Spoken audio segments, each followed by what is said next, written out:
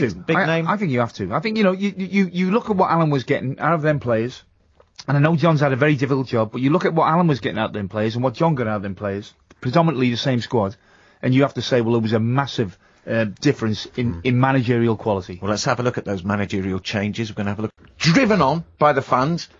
There was no way on this planet they were going to get beat last night, Ireland, against Bosnia.